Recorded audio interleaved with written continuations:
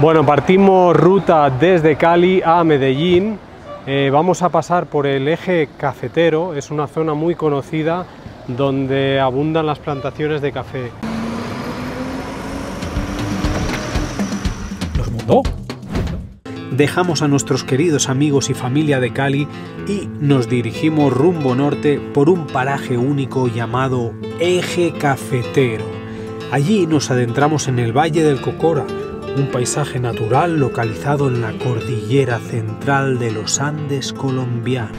¿Ahí me va a Sí, coche. Vieja. Uh.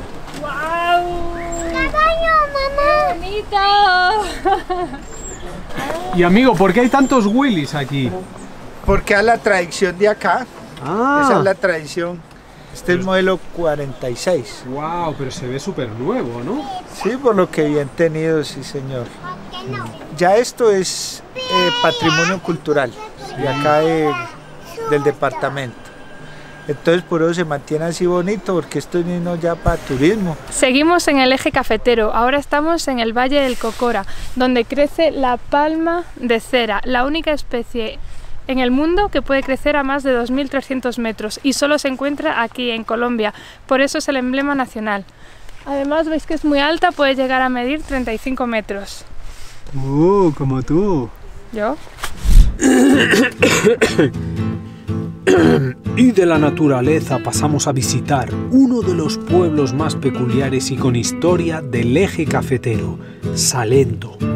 Un pueblo con mucha tradición cafetera, donde es posible el avistamiento de un tal Juan Valdés y su mula, o bueno, actual versión 2.0. Fijaros qué pasada de pueblo, las casas, lo colorido que están.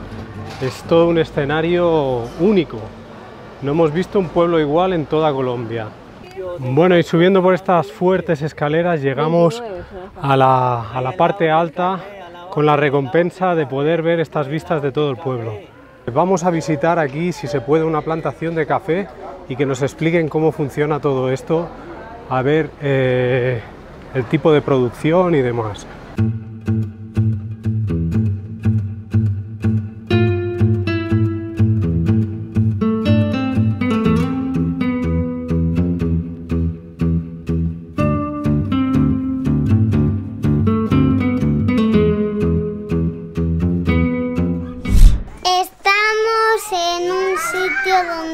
Vamos a, a ver cómo se hace el café y esta finca se llama la finca del recuerdo.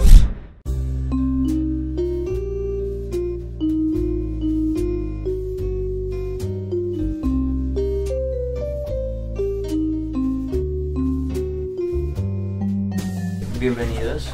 Eh, la finca Recuerdo es una finca cafetera tradicional que se ha dedicado a esta labor por cerca de 70 años. Acá, Eric.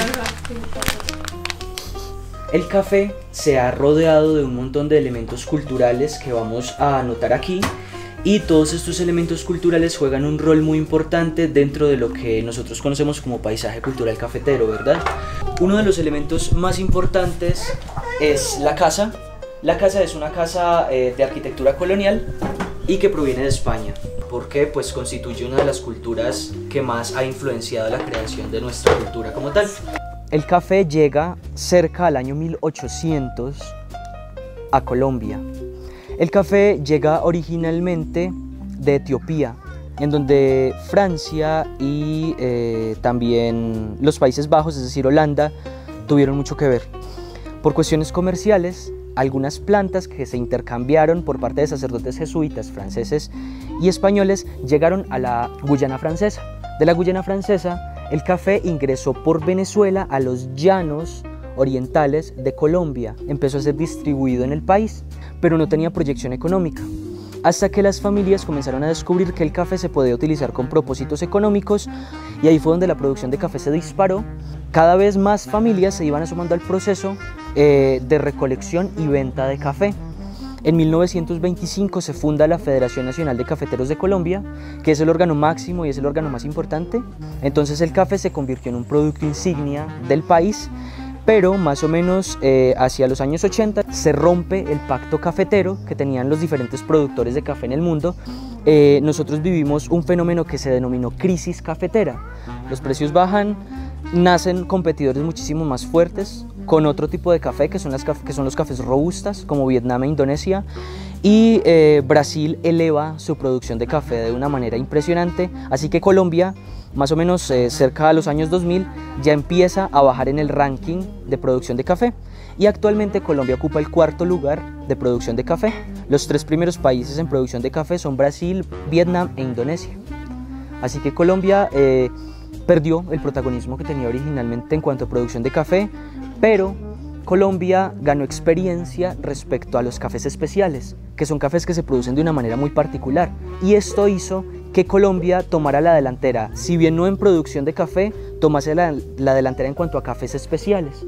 Entonces ahora se pueden obtener cafés de muy buena calidad en este país, provenientes de pequeños caficultores que tomaron la iniciativa de salirse del modelo de producción convencional e ingresar eh, en un modelo que permitiera además potenciar las características del producto.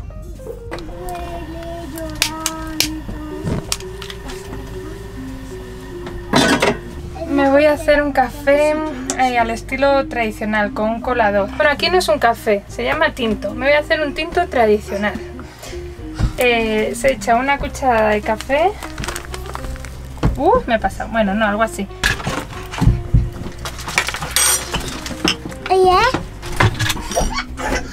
Va echando el agua poco a poco. Y el agua va cayendo. Va cayendo el cafelito. Una cucaracha. Ahí. Cucaracha.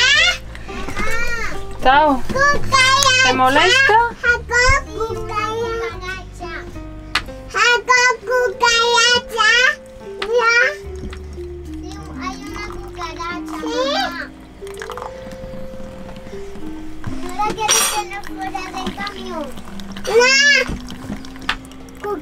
Silencio todos un segundo, 10 segundos. Cucaracha. Callar, callar.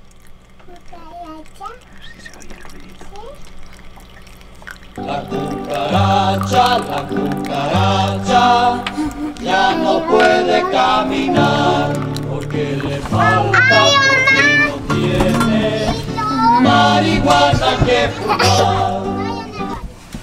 Café de Colombia. Em, si os ha gustado el vídeo, darle al like, poner un comentario y suscribiros YouTube, Instagram y Facebook. Chao.